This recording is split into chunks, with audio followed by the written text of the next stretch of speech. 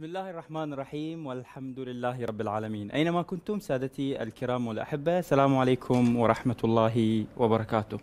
المسؤولية مهمة كبيرة يأخذها على عاتقه جملة من الناس ولعل آه، موقع المسؤولية يختلف ويتباين بين شخص وآخر. وتبدأ المسؤولية من الدائرة الصغيرة وهي الأسرة. وتنطلق إلى المسؤوليات المختلفة التي يتصدى لها الفرد سواء على مستوى أن يكون في صدارة القرار على جمع كبير من الناس أو يكون أصغر من ذلك. بالنتيجة المسؤولية واحدة وعلى الرغم من أنها تتباين آه، فيما بين حجم آه، أولئك الناس الذين يخضعون لقرار مسؤوليته. بين هذا وذاك تتصدر مسؤوليات كبيرة. على هذا المسؤول وينبغي عليه أن يقود الدور بما ينبغي. آه، ينطلق من أنه يعرف جيدا محور وأيضا دكة هذه المسؤولية ليكون قائدا حقيقيا وصالحا لهذه المسؤولية، لذلك آه، عندما نقف عند تفسيرات وأيضا عند المسؤوليات التي تلقى على عاتق المسؤول حين يتصدى للمسؤولية نجدها أنها تتباين بحجم المسؤولية التي أخذها على عاتقه وأيضا حجم الناس الذين يكونون تحت قراره، لذلك فإن المسؤولية مهمة. والرجل الذي يتصدى لأخذ هذه المسؤولية أو الإنسان الذي يتصدى لهذه المسؤولية يكون شجاع وأيضا هو المبادر بخير. هذا في أول قرار عندما يتصدى للمسؤولية ولكن الأهم من ذلك أنه يكون على قدر هذه المسؤولية. فبحجم الحسنة التي فعلها أول قراره وهو يتصدى المسؤولية هنالك أكبر منها وهو إدارة هذه المسؤولية بالشكل الصحيح. أيها الأحبة آه، نبحث آه، تعريف وأيضا جوانب وخبايا وأبعاد وأيضا نتائج المسؤولية وأشخاص المسؤولين وكيف يمكن للفرد أن يتصدى لمسؤولية معينة وما الذي يلقى على عاتقه وما الميزات التي يمتاز بها الفرد عندما يتصدى لمسؤولية معينة. كل هذا نبحثه هذه الليلة وعنوان الحلقة التصدي للمسؤولية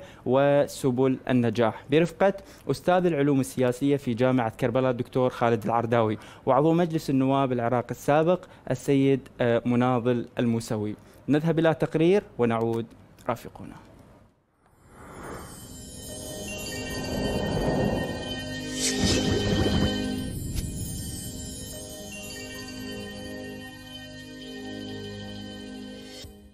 المسؤولية هي الأعمدة الأساسية في حياة كل شخص. لأنها تحدد مصير نجاح أو فشل في الحياة ولذلك على المرء أن لا يستهتر أبدا بمسؤولياته. بالنسبة للعملية السياسية بالعراق آه، أكثر من تجربة مرينا بها أكثر من مرحلة أكثر من انتخابات خاضها هذا الشعب وللأسف اختيار هذا الشعب كان حزبوي. ما كان آه، اختيار مستقل باستراتيجية هدف واضح لبناء وطن بناء بلد.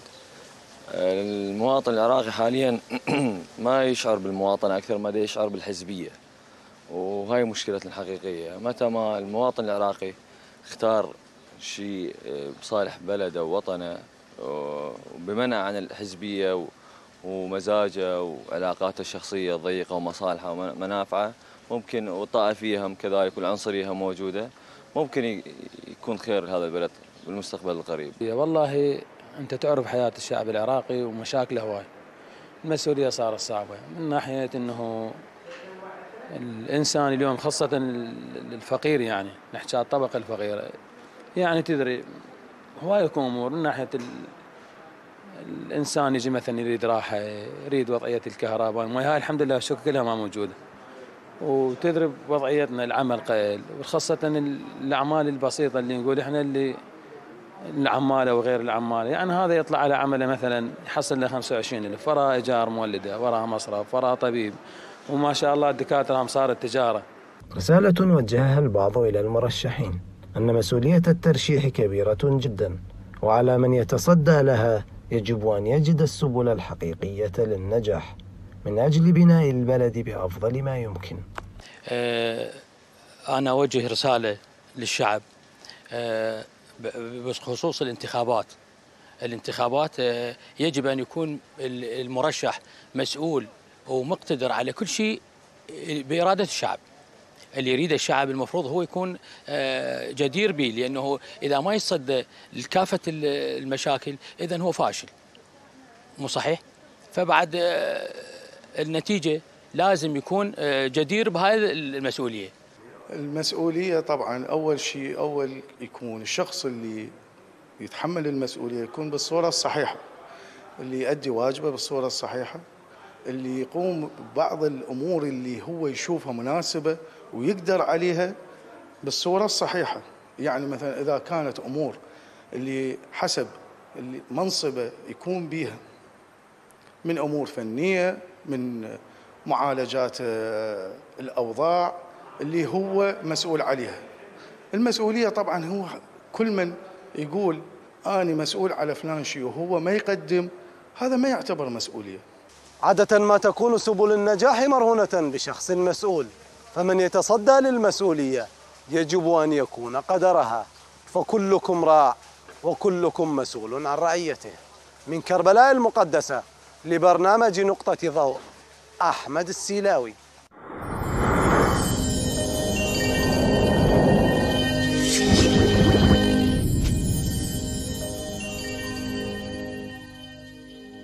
تحية للزميل أحمد السيلاوي. تحية لكم أيها الكرام والأحبة باسمكم أرحب بضيوفي أستاذ العلوم السياسية في جامعة كربلاء الدكتور خالد العرداوي حياك الله. وأيضا الأستاذ مناضل الموسوي عضو مجلس النواب العراق السابق حياكم الله. آه، ضيوفي الكرام وأبدأ مع آه، دكتور خالد. دكتور خالد ما تعريف المسؤولية آه، نعم بسم الله الرحمن الرحيم. تحية لكم آه، أستاذ مصطفى وتحية لمشاهديك الأعزاء. تحية لحضرتك. وحقيقة أنتم اليوم تسلطون الضوء على آه، موضوع هو مهم للغاية. آه، يتوقف عليه ليس فقط مصير الإنسان ذاته وإنما مصير المجتمع ولربما مصير البشرية قاطبة. قضية المسؤولية أنا في اعتقادي أنه هي أمانة. أعرف المسؤولية على أنها أمانة. أمانة, نعم. أمانة يتحملها الإنسان سواء كانت هذه الأمانة في إطارها المحدود الضيق أو كانت في إطارها الواسع الكبير في كل الأحوال هي أمانة وعلى آه، من يحمل هذه الأمانة أن يكون على قدر آه، يعني تحملها ويكون قادر على الحفاظ عليها يعني يكون مؤهل بشكل كامل إلى أنه يدرك معنى حفظ الأمانة ويدرك تماما كيف يحافظ على هذه الأمانة وكيف يوصلها إلى أصحابها بالشكل الصحيح. ولكن الأمانة تختلف. يعني مرة الأمانة تكون أموال أنا أودعها عندك وعند ذلك أنه أنت تكون مسؤول عن هذه الأموال. ولكن مرة أخرى الأمانة تكون منصب أو إدارة أو آه، أسرة أنت تكون مسؤول عنها. وعليك أن تكون على قدر هذه المسؤولية في الحفاظ على هذه الأسرة وفي الحفاظ على الدائرة أو المنصب الذي أنت تتولاه. لأنه كما قال الرسول صلى الله عليه وآله كلكم راع وكلكم مسؤول عن رعيته. ولاحظ أنه من الإمام وصل إلى أنه المرأة راعية في بيت زوجها. اليوم إذا هذه الأمانة مقترنة بالمسؤولية وأنه كثير من الناس لربما آه، أحيانا يكونون غير مؤهلين أنه يحفظون هذه الأمانة. ولذلك نلاحظ أنه حتى أمانة الإنسان على نفسه. يعني لاحظ أنه الله سبحانه وتعالى رفع الحساب عن المجنون حتى عن الذنوب التي يرتكبها لماذا؟ لأنه لا يدرك الأفعال. ولا يدرك ال- الأمانة اللي هو يتحملها. لكن هذا هذا ال- الحساب غير مرفوع عن الإنسان العاقل. ولذلك إنه الإنسان العاقل حتى لو ارتكب ذنوبا في السر الله سبحانه وتعالى يحاسبه عن هذه الذنوب. وهنا يحاسب حتى لو كانت تخص نفسه. نعم. لأنه في هذه الحالة هو أم تحمل أمانة نفسه. عليه أنه يحفظ هذه النفس ويقومها ويرقيها وبالتالي يمنع تسافلها. ولذلك الله سبحانه وتعالى أنه جعل أنه الإنسان ممكن أن يرتقي إلى مرتبة تعلو مرتبة الملائكة إذا استطاع أنه يرقي نفسه وهذه هي هذا هو جوهر الأمانة نعم. ومرة أخرى ممكن أنه ل- يعني عفوا أنه ممكن أن يرتدي إلى أسفل سافلين وذلك عندما يخون هذه الأمانة عندما لا يدركها ولا يستطيع أنه يحافظ عليها فإذا كان هو غير قادر على حماية أمانة ترقية نفسه وتقويمها والحفاظ على مسارها الصحيح. فما بالك إنه هكذا إنسان لو تولى مسؤولية أسرة لو تولى مسؤولية آه، مؤسسة لو تولى مسؤولية الشعب هو هو نفسه جعلها ترتد إلى أسفل السافلين. فما بالك لو تولى أمانة أمة سوف يجعل هذه الأمة تكون كما جعلها فرعون كما جعل قومه ال- يستضعف طائفة منهم يستحيي نسائهم ويذبح رجالهم هكذا هو الحال. إنه يقطع السبل ويقطع الوشائج بين الناس عندما يكون هو خائن للأمانة وغير قادر على تحملها بشكل صحيح. يمكن اليوم يعني تكرار تفضلت بذكر فرعون و آه، كشخصية آه، مرعبة في التاريخ وأيضا كانت آه، نقطة آه، يعني ربما كل ما تقول عنها من سيئات هي متوفرة فيها. ممكن آه، تكرر آه، مثل هكذا شخصية أو أفعال من هذه الشخصية في العصر الحالي؟ طبعا أستاذ مصطفى ما أكثر الفراعنة في حياتنا.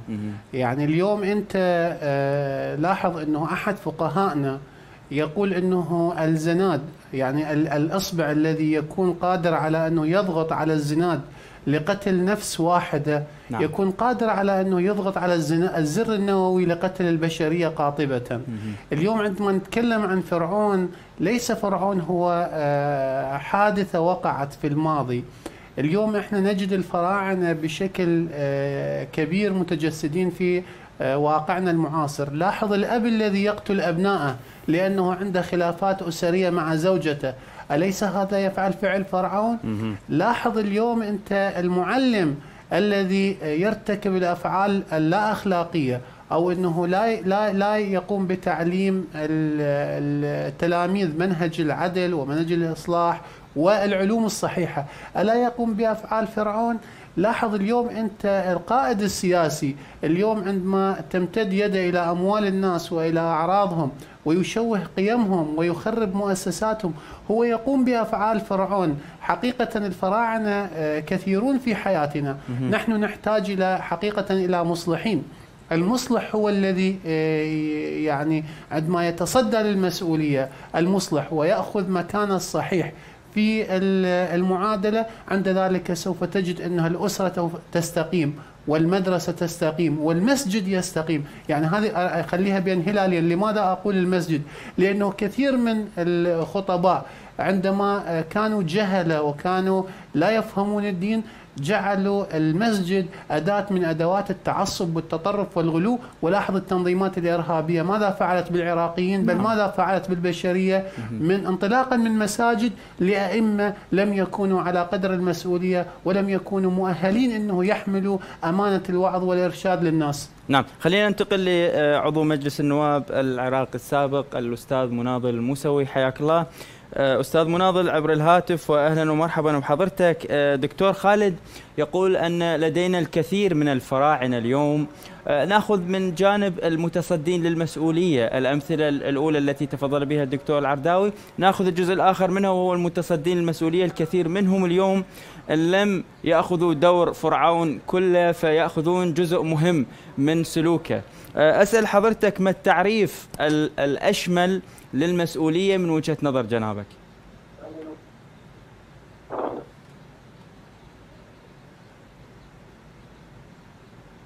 أستاذ مناضل؟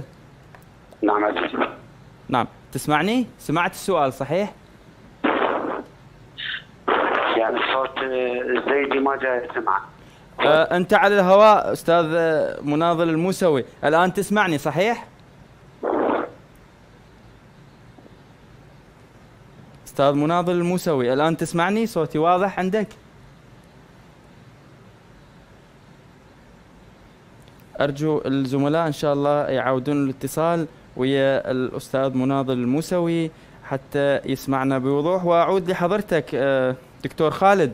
آه، يعني عندما نتحدث عن آه، مثل هذه السلوكيات اللي تفضل بها حضرتك وأنه الكثير من الشخصيات ابتعدوا كثيرا عن المتبنيات التي تبنوها والشعارات التي طرحوها. هل هذا النقص بأصل البرنامج الذي وضع من قبل الشخص أم هي قضية مسار الحكم؟ وسار مع مسار الحكم وأنتج هذه الأخطاء. آه نعم.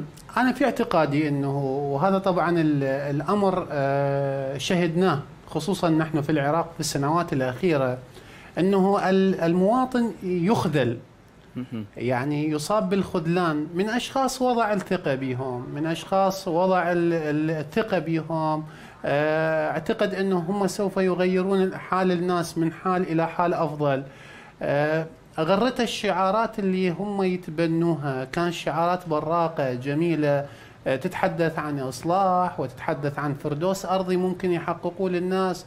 ولكن للأسف إنه لاحظنا بعد ما إنه آه، تصدوا للمسؤولية وأمسكوا فعلا بكرسي المسؤولية آه، لم تسعفهم آه، سلوكياتهم بل وجدنا هنالك انهيار وارتداد عن كل الشعارات نعم. والايديولوجيات اللي يطرحوها نعم. في اعتقاد اختلفوا اختلفوا مع الشعارات التي طرحوها فضلا عن الأمور الأخرى. تمام. هذه نقطة مهمة جدا أود يعني آه، مليا تقف عندها دكتور لكن اسمح لي أن أنتقل للسيد مناضل موسى موسوي عضو مجلس النواب العراقي السابق.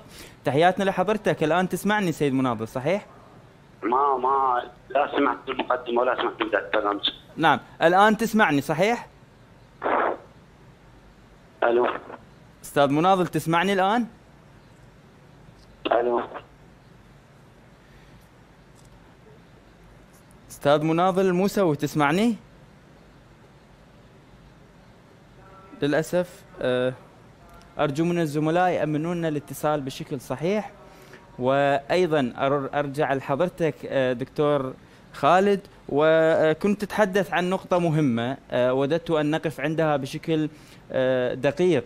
يعني كثير من المسؤولين يعني يتحدث عن أنه أكو ظلم من قبل المواطنين تجاههم وبعض الأحيان يكون آه، سقف الطلبات من قبل المواطنين كبير ومشكلة أن تكون المؤسسة أو الدولة أو ما يديره هو فيه الكثير من التلكؤات وربما العملية السياسية في بلد معين آه، تكون هي متخبطة وبالنتيجة يرمي آه، مشكلة التقصير في السيستم بشكل كامل وليس بشكله عنده شخصيا وأيضا يبرر ذلك يعني يبرر بذات العذر عدم تطبيقه الشعارات التي تبناها قبل الانتخابات وقبل أن يستلم زمام المسؤولية.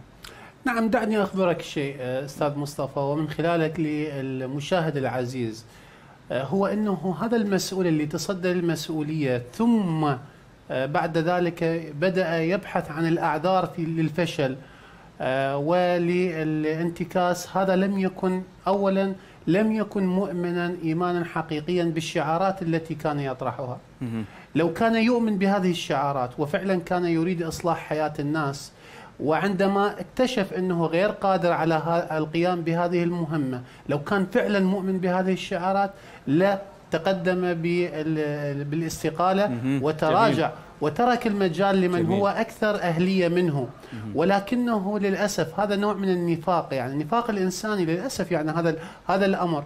أنه النفاق يجعل الإنسان يبقى يبحث عن الأعذار ولا يحمل المسؤولية لنفسه. حتى وإن اعتبر هذه الفترة أنها محاولات نعم. بتطبيق الشعارات والمتبنيات والبرنامج الذي وضعه لنفسه؟ يا سيدي الكريم أنا كمواطن وأنت كمواطن لا نريد الشعارات المعلقة في السماء. نحن نريد شعارات تطبق على الأرض. اليوم عندما فعلا قادر على معالجة مشاكل الناس ويستطيع أن يقدم الخدمات بحيث تكون ملموسة يلمسها المواطن. عند ذلك لا لا تظن أنه الناس سوف تنتقده. بالعكس الناس سوف تثق وتحترم الإنسان الذي يستطيع أن يقدم الخدمات لها ما فائدة المسؤول وما فائدة القائد السياسي وما فائدة نظام الحكم بالكامل؟ نحن ندرس أنظمة الحكم. واحدة من الأشياء التي أوجدت نظام الحكم نظرية العقد الاجتماعي. هنالك عقد بين الحاكم بين السلطة وبين الشعب. على السلطة أن تقدم خدماتها للشعب. وهذه الخدمات خدمات الأمن وخدمات الاستقرار وخدمات الصحية والتعليمية والحقوق والحريات. وبنفس الوقت سوف تأخذ من الناس الطاعة والولاء والإيمان والانتماء لهذه السلطة. لكن عندما تكون السلطة غير قادرة على تقديم الخدمات للناس وتريد أن تفرض نفسها فرضا عليهم عند ذلك سوف تكون خيانة للعقد الاجتماعي. سوف يفقد الناس ثقتهم بهذه السلطة. وعندما تفقد الثقة بين السلطة وبين شعبها عند ذلك لا تنفع الأعذار. أنت اليوم كمسؤول تحتاج إلى أنه تقدم خدمات حقيقية للناس نعم. تعالج مشاكلهم نعم. لا أن تقدم أعذار لهم لأن الناس حقيقة هم يعرفون أنهم لوحدهم غير قادرين أنهم يقومون بهذه الأفعال ولذلك نعم. هم أعطوك المسؤولية نعم جدا واضح دكتور خلينا ننتقل للأستاذ مناضل أستاذ مناضل موسى والآن تسمعني صحيح؟ أستاذ مناضل الموسوي أيها الأحبة خلينا نذهب إلى الاستطلاع بما تبقى من الوقت ضروري أن نقف عند الاستطلاع أيها الأحبة والكرام. هذا الاستطلاع بين الناس. آآ آآ نتابع نشاهد رأي الناس بالمسؤولية وربما يضفي على رأيهم المسؤولين الذين واكبوهم مجموعة سنين. نشاهده معا ونعود رافقونا.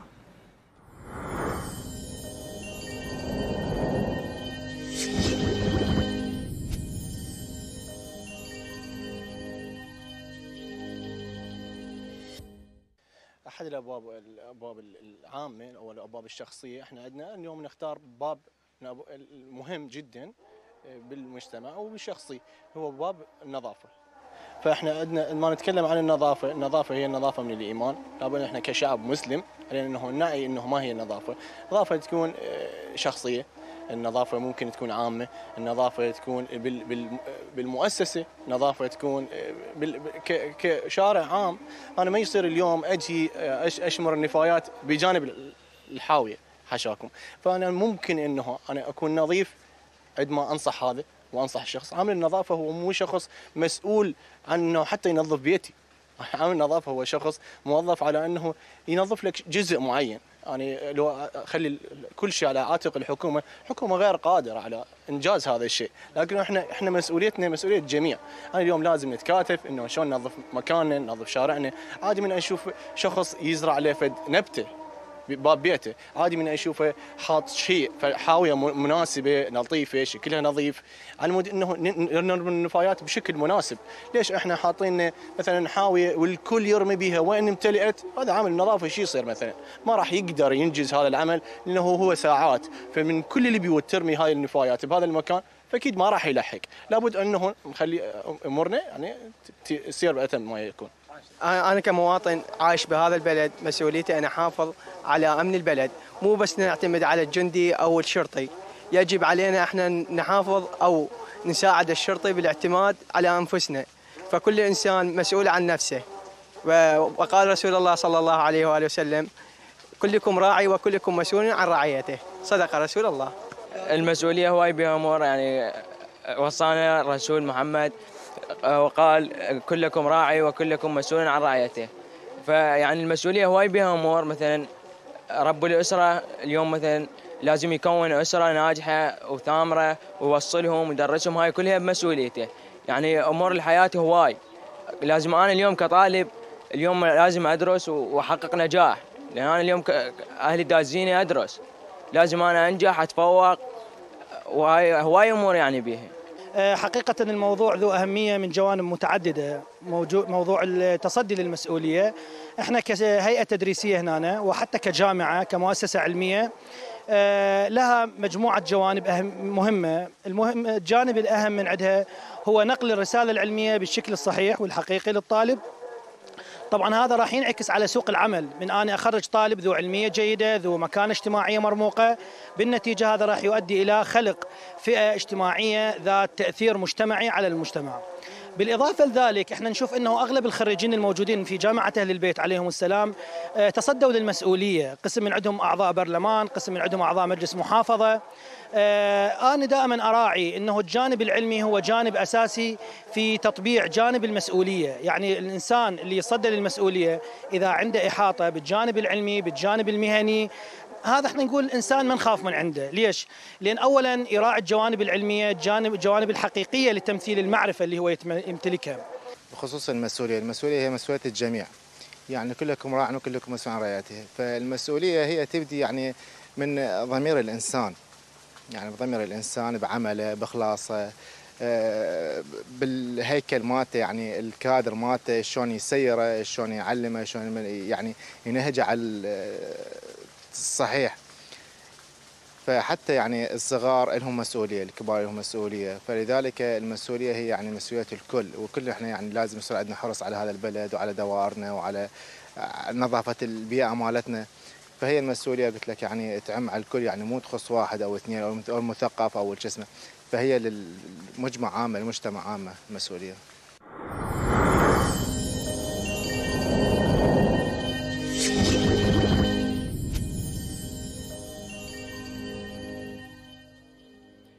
تحية للزميل أحمد السيلاوي تحية لكم أيها الأحبة باسمكم أجد الترحيب بضيوفي أستاذ العلوم السياسية في جامعة كربلاء المقدسة دكتور خالد العرداوي وعضو مجلس النواب العراق السابق الأستاذ مناضل الموسوي وتسمعني الآن آه، سيد مناضل تسمعني بوضوح صحيح؟ أستاذ مناضل الموسوي تسمعني الآن؟ اسمعك لكن مع للاسف انه الصوت آه، واطي جدا. إن شاء الله الأخوة بالكنترول يعلوا أه تحية لحضرتك ورحب بجنابك راح من وقت حضرتك الكثير وإن شاء الله نعوضك بشيء من الدقائق. أه أسأل حضرتك أه, أه، كانت مقدمة أه، بها الكثير من التفاصيل ويا أه، أستاذ الدكتور خالد العرداوي وأسأل جنابك التعريف الأشمل للمسؤولية من وجهة نظر حضرتك. زيد رئيس خالد العب كادر مثلا عليه. موضوع المسؤوليه انه سبق وأنه تفضل أخي الدكتور خالد العرداوي بتوضيحه توضيح كامل. أخذ الجانب الشرعي والجانب الأخلاقي في التعريف وهو مسؤولية الفرد قبل أن يكون مسؤولا عن غيره مسؤوليته عن نفسه مسؤوليته عن المجتمع باكمله عندما يتصدى للمسؤولية وكذلك المسؤولية تصل إلى حد عامل النظافة المسؤولية تجاه العمل المناط به أو المكلف به والذي يتقاضى عليه اجرا. موضوع المسؤولية اليوم اللي حدد برنامجكم مع قرب الانتخابات هو يتعلق بانتخابات بمجلس النواب ومن هو المؤهل لكي يكون عضوا في مجلس النواب ويستطيع تمثيل الشعب تمثيل صحيح. إيه، فلا داعي لإعادة ما تفضل به الدكتور خالد العرداوي من توضيح مسؤولية وموضوع الأمانة. حقيقة هو آه، أكد عليه أنه يرتبط ارتباط مباشر بالمسؤولية. وبالتالي هناك معايير للتمثيل النيابي يجب أن تتمثل في شخص المرشح وتكون هناك قناعات لدى الناخبين لاختيار المرشحين. لا على أساس الانتماء للقبيلة أو الحزب ولا على أساس الانتماء المناطقي وإنما يكون على أساس الكفاءة المهنية المصداقية النزاهة لأن عمل مجلس النواب هو رقابة تشريعي. يعني بما معناه أنه يركز على نقطتين الاولى الرقابة وهو مراقبه عمل وزارات الدولة وما تقدمه للمواطن وما تحتاجه من قوانين وقرارات تقدم ما هو أفضل للمواطن. وعلى هذا الأساس إيه، نعود إلى موضوع التشريع. إيه، لكن يعني مع شد الأسف أنه في الانتخابات السابقة آه، من أول أيام تشكيل الجمعية الوطنية والدورة النيابية الأولى والثانية والثالثة والرابعة الحالية. كان هناك قانون الانتخابات قانون مجحف وهو قانون القوائم وكذلك انه المجموعه المجموعه الكل الاصوات التي تحصل عليها القائمة تستطيع أن ترفع كذا عدد من مرشحيها في حين أن هناك نواب آه، اخذوا أو مرشحين أخذوا أصوات أعلى من غيرهم بما معناه أن هناك لديهم مقبولية اجتماعية وقريبين من المجتمع ولم يحصل على فرصهم لأنه في القاسم الانتخابي آه، نعم. تقصد أنه أكو مشكلة جوهرية في القانون اللي كان يحكم ال- العملية الانتخابية في النائب أو الصين. المرشح هو قريب من المجتمع لكي يشعر بمعاناته ويستطيع الناخب أن يصل إلى النائب ليوصل معاناته. نعم. لكن آه، الانحراف الذي حدث في العملية السياسية في العراق هو بسبب التلكؤ والمحسوبية في وزارات الدولة عموما، لذلك تحول دور النائب من رقابي تشريعي إلى دور المعقد، وهذا يتح- يتحمله البرلمان لسبب أن ال- استغلال موضوع ال- ال- يعني الاحتياجات الخاصة للمواطنين. أستاذ مناضل تسمعني مو؟ نعم أسمعك واضح. نعم. أريد اناقشك بهذه النقطة. طبعا آه، قبل أن آه، أتداخل وياك باللي تفضلت به حضرتك عدت السؤال ويا جنابك بتعريف المسؤولية لأنه وددت أن أعرف هل هنالك تباين في معنى وتعريف المسؤول المسؤول والمسؤولية. بين الأكاديمي وال والذي آه، عمل كثيرا في المسؤولية. حضرتك آه، أربع سنين أنت مسؤول عن آه، يعني في مجلس النواب وتحمل مسؤولية عن كل الشعب العراقي. لذلك وددت أن أعرف هل هنالك تباين بال- بالتعريف أو بين ما لا طرحه الدكتور خالد العرداوي نعم نعم. ولكن على أرض الواقع المسؤولية المناطة بعضو مجلس النواب هو الرقابة والتشريع. مراقبة أداء وزارات الدولة وتقييمها ومحاسبة المقصر الذي لا يستطيع تقديم الخدمة للمواطن. هذا دور النائب من الناحية الرقابية وهذه المسؤولية النائب من الناحية الرقابية. أما من الناحية التشريعية فهو تتواصل النائب مع واضح. الوزارات والدوائر وحاجة الدوائر إلى قرارات يجب سنها في مجلس النواب لكي تستطيع الدوائر والوزارات تقديم خدمات أفضل بدون معوقات. نعم. هذا على أرض الواقع، أما نعم. من الناحية الأكاديمية فلا يوجد اختلاف، من الناحية الأكاديمية والناحية الشرعية، المسؤولية هي سبق وانه تناقشنا قبل أيام مع حضرتك حول نظرية العقد الاجتماعي، نعم. بغض النظر عن أنه كانت الفكرة غربية أو إسلامية، لكن إحنا كمسلمين ناخذ من وجهة نظر إسلامية جميل جدا. المسؤوليه كلكم راع وكلكم مسؤول عن رعيته، بما- فيه اختلاف جميل جدا. والفن بما لكن أن- الخلل الخلل الخلل بالتطبيق جميل لأن جدا. النائب تحول إلى معقد وليس نائب وهاي بين قوسين طبعا والعهدة على القائل مو إحنا. أسأل حضرتك لذلك بما أنه التعريف واحد والمفهوم واحد ومتفق مع اللي تفضل به دكتور خالد دكتور خالد العرداوي. سألت دكتور خالد قلت له أنه أه، ربما البرنامج الحكومي العام أو شكل ال- ال- ال- الحكومة وشكل الجو والعملية السياسية ربما تكون مبرر لأعذار بعض المتصدين للمسؤولية. كان رأي دكتور خالد أنه من لم يستطع أن يطبق برنامجه الانتخابي وما وعد به شعبه خليه يستقيل وما شفنا هواية استقالات للمسؤولين بدورة حضرتك والقبلها والقبلها ولا حتى هذه الأخيرة. يعني اللي صار في الدورة الثالثة على اعتبار إنه كنت أحد أعضائها. نعم. آه، هي المشكلة اللي موجودة حقيقة إنه مسألة التحزب تحزب الوزارات. مهم. والمحاصصة في تقسيم الوزارات. يعني أتذكر أنه واحدة من الحوادث عندما تم تقديم طلب استجواب للسيده وزيرة الصحة في حينها آه، اتفق حزب معين مع بعض الأحزاب التي وزراء عليهم مؤشرات فساد أو مؤشرات فشل في عملها على أنه لا يتم التصويت على إقالة الوزيره بمقابل عدم القبول استجواب وزراء الكتل الأخرى. وبالتالي يفشل عمل البرلمان بهذا الاتجاه. لذلك كانت هناك مطالبات مستمرة بأن تكون الحكومة حكومة تكنوقراط مستقلين عن الأحزاب. لا يجب أن يكون هناك متحزب في الوزارة. وهذا سبب الفشل.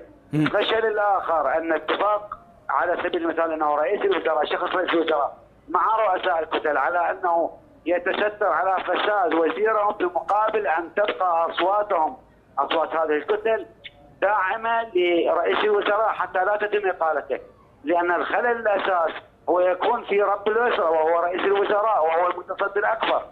أما الخلل الثانوي رغم انه البعض يعد خلل اول هو فشل الكتل السياسية وأعضاء مجلس النواب. نعم في أداء دورهم الرقابي بالأساس جميل جدا. أما من الناحيه التشريعيه فكثير من القوانين الموجودة لكنها لا تحظى ب- على أرض الواقع بالتطبيق إلا بالعلاقات لذلك نعم. إنه بعض الوزارات تستغل تستغل, تستغل لاغراض دعائية أيام الانتخابات وتتم موافقة الوزا- الوزراء جدا واضح آه، طبعا أستاذ المواطنين لكي يكون هذا المرشح هو فائز في الانتخابات القادمة. أستاذ المسوي. طبعا. اسمح لي أنا أقاطعك لضيق الوقت. أسأل حضرتك أيضا سؤال. المسؤول في أي من المسؤوليات المتصدي آه، لم يستطع أن يطبق برنامجه اللي وعد به ناس اللي ينتخبوه؟ وعدم استقالته على الرغم من عدم إمكانية تطبيق هذا البرنامج. بوجهة نظر حضرتك بماذا تصفه؟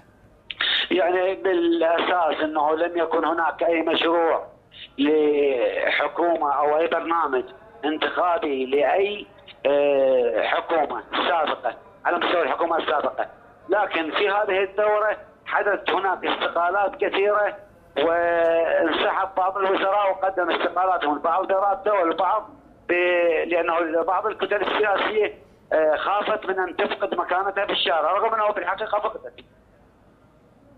يعني اليوم اللي نشوف إنه الفاجعة اللي صارت في محافظة قيقار إنه رئيس الصحة قدم استقالته، لكنما إنه ما ما نكتفي بتقديم استقاله الوزير وعدم محاسبته. وإن كان لما كان متصدي للمسؤولية، الموضوع مو بس تقديم است- استقالة وانسحاب، وإنما الموضوع يجب أن يكون هناك برنامج حكومي صحيح يقدم إلى البرلمان وعلى أساسه يتم قبول الشخص كرئيس الوزراء يختار كابينته الوزارية على أساس حكومة تكنوقراط مستقلة نعم. بعيدة عن المحاصصة والتحزب. ما يقبلون. مجلس النواب ما يقبل آه، سيد مناضل. آه، مجلس يعني النواب ما اعتقد اعتقد أعتقد إنه عندي يعني اللي أتذكره إنه عندي لقاء سابق على قناة دجله قبل أكثر من خمس سنوات أو ست سنوات. نعم. كان إنه القانون الانتخابي غير منصف للشعب، لكن اليوم القانون الانتخابي يقول إنه اعلى الاصوات هو اللي يمثل الدائره الانتخابية. جميل جدا، نعم. ثانيا ثانيا هو تعدد الدوائر الانتخابية خلى إنه المرشح يكون قريب من أبناء دائرته. وبالتالي الكرة الآن على هذا القانون في ملعب الشعب جداً. عليهم اختيار من هو يمثلهم تمثيل حقيقي نعم. ومن هو من جهتهم لا أن يأتي أيام الانتخابات ويحمل أكياس الطحين ويوزع بطانيات وينقل من وحده عسكريه لوحده نعم. عسكريه جداً أو واضح. يفرق أفراد نعم. وإنما أنه يكون قريب منهم خليني يحس أنتقل ل- بمعاناتهم نعم. وممكن إنه يوصلها في أي وقت نعم خليني أنتقل بالدقيقة والنص للدكتور خالد دكتور خالد أسأل حضرتك سؤال أخير آه، لإتمام الفكرة. لماذا لم تتمتع الحكومة سواء التنفيذية أو التشريعية أو حتى القضاء بمتابعة المسؤول لتطبيق برنامجه اللي وعد به ناسه وبالنتيجة على أساسه انتخبوا الناس؟ طبعا أنا شفتك تأيد الكثير مما تفضل به سيد مناضل ولكن ما عندي الوقت المتوفر لنقاش ذلك. تفضل. أنا ب- يعني بداية إنه أيضا إنه أوجه تحية ل- لصديقي العزيز السيد مناضل الموسوي. آه لصراحته حقيقة اللي تكلم بها نعم. آه، حول الواقع السياسي العراقي آه هذه الصراحة المعهودة من آه، ال- السيد الموسوي ليست غريبة آه ما تكلم به هو الذي يجيب على السؤال الذي طرحته علي الآن مهم. هنالك تواطؤ على الخيانة وليس تواطؤ على الإخلاص وعلى حفظ الأمانة ولذلك تلاحظ أنه هنالك وزير لا يتم استجوابه لأن مقابل وزير آخر مقصر لا يتم استجوابه. وحك ورئيس حكومة لا يتم آه، حجب الثقة عنه مقابل تستر على ملفات الفساد لكتل وأحزاب آه، معينة. هذا يدل على أنه ال system system إدارة الحكم في العراق فيه مشكلة وأنه يتواطأ على على خيانة الأمانة ولا ولا يت- يتآزر على حفظ الأمانة. ولذلك أنه هذا يجعل أنه المعاقبة والمحاسبة آه، لا لا تكون آه، سيدة الموقف. أنت متى تحاسب؟ عندما تكون مبسوط اليد وعندما يكون لديك سلطة إنفاذ قانون حقيقية وعندما تكون عامل من أجل تطبيق هذا القانون. أما أنه أنت تتواطأ مع الآخرين على أنه تتستر على آه، خيانتهم لأمانتهم، على تقصيرهم، على جرائمهم التي ترتكب، هذا يدل على أن هنالك آه، نعم. خطأ كبير نعم. وهذا يجعل يعني سياسة الثواب والعقاب مفقودة في هذا البلد. نعم. شكرا جزيلا لحضرتك أستاذ العلوم السياسية في جامعة كربلاء المقدسة الدكتور خالد العرداوي. شكرا جزيلا لما تفضلت به. الشكر أيضا لعضو مجلس النواب العراقي السابق الأستاذ مناضل الموسوي كل الشكر والتقدير لحضرتك. أيها الكرام سادتي الأحبة ختاما لكم مني ومن أسرة العمل أجمل التحايا وإلى الملتقى.